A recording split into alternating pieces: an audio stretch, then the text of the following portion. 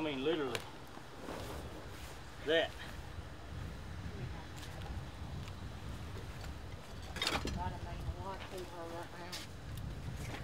Hey, even in the midst of tragedy, God's working.